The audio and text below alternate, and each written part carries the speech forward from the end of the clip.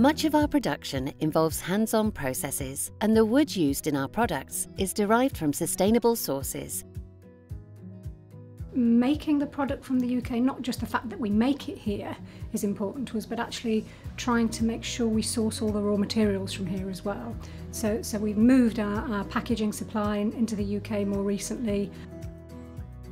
All of our products are packaged in their own soft plum cloth drawstring bag and then boxed, which makes them beautifully presentable as gifts for all occasions.